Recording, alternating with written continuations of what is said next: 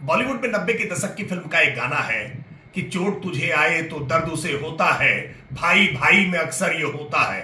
ये फ़िल्म का गाना अखिलेश यादव जी पर बड़ा सटीक बैठता है। जब भी किसी अपराधी को एनकाउंटर में गोली लगती है तो दर्द अपराधी के बजाय अखिलेश यादव जी को होने लगता है। आज लूट कांड के आरोपी मंगेश यादव, जो एक लाख रुपए का इनामी बदमाश था, उसको उत्तर प्रदेश की पुलिस ने मुठभेड़ में ढेर कर दिया है। लेकिन अखिलेश यादव जी का मातम मनाना बहुत लाजमी हो गया है। ट्वीट करके वो दुहाई देने लगे हैं कि कानून व्यवस्था बिगड़ गई है। ये अपराधियों का संरक्षण करने वाले अखिलेश यादव जी, उनको इतना दर्द क्यों होता है? ये उत्तर प्रदेश में योगी आदित्यनाथ जी की सरकार है। अगर कहीं भी अपराध घटित हुआ है तो उस पर कठोरता से कार्रवाई होती है।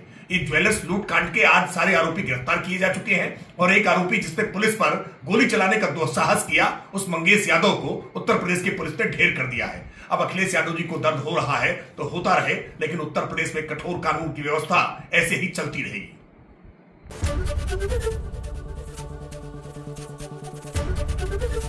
एबीपी गंगा, खबर आपकी, जुबा आपकी।